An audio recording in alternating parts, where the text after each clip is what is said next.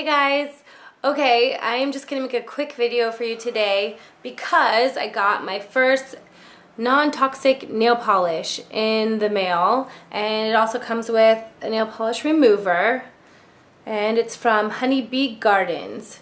And what it says online is that it's, um, instead of being solvent based, it's a water based nail polish and there's no formaldehyde and like all of these dangerous chemicals. And supposedly it doesn't smell gross like the other traditional nail polishes. So let's see about that.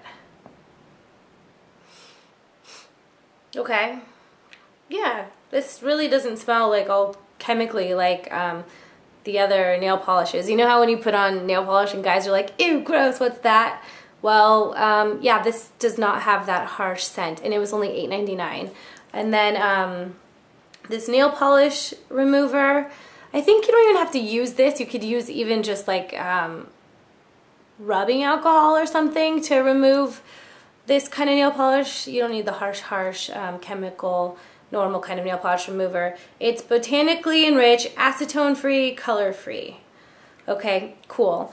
And I guess the difference between this um, nail polish and the other kinds is that this needs a little bit longer to set, so they recommend doing it at night, but I'm just gonna do it during the day because I'm a rebel like that. And um, I picked black because the other day I saw Kim Kardashian was wearing black and I wanted to try it myself. So yay, there's all different kinds of colors to choose from. All right, so I'll do my nails. Right now I have nothing on.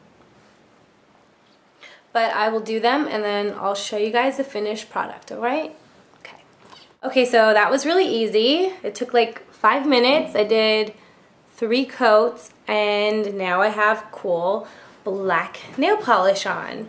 And um, another thing I learned is that if you use this kind of nail polish, um, it doesn't strip away the natural oils from your nails, so hopefully they won't break as easy as the other kind. The other kind just like strips away the natural oils.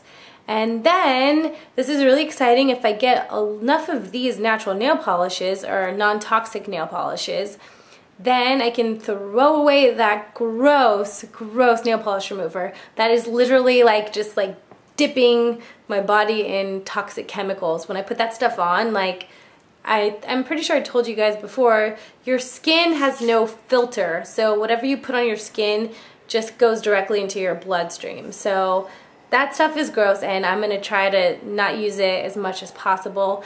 Oh yeah, and another thought I had is that this would be so much nicer for the ladies who work in the nail salons. Like this nail polish doesn't smell anymore and that would be great for their overall health and like for our health of course because we use nail polish a lot, but those women are around it all day long and this would be way better for them. So hopefully one day we'll get there in the future.